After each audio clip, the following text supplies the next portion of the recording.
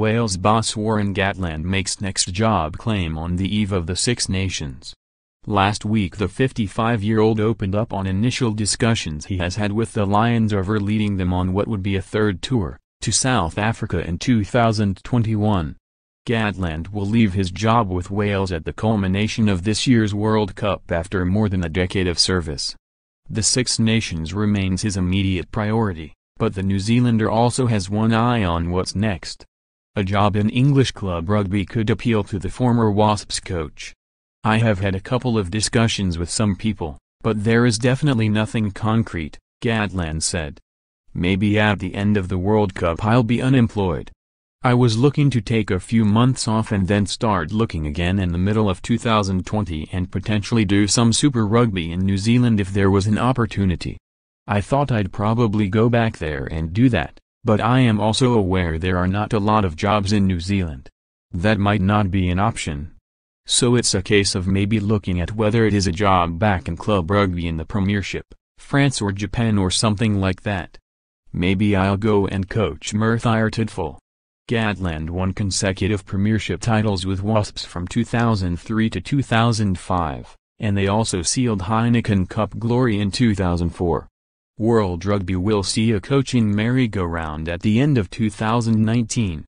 Gatland plus Ireland boss Joe Schmidt and New Zealand's Steve Hansen, will all move on after the World Cup.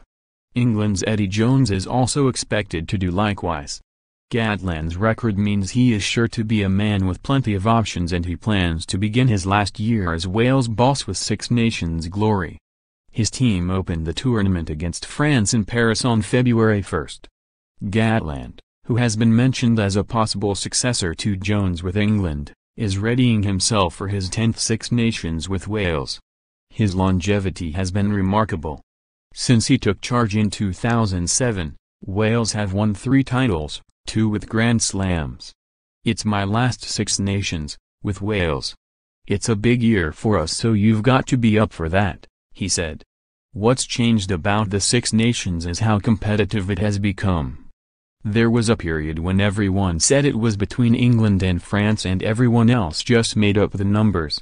I was involved in the old Five Nations before Italy and they're still playing a bit of catch-up, but at the moment I think the other five teams are all capable of beating each other.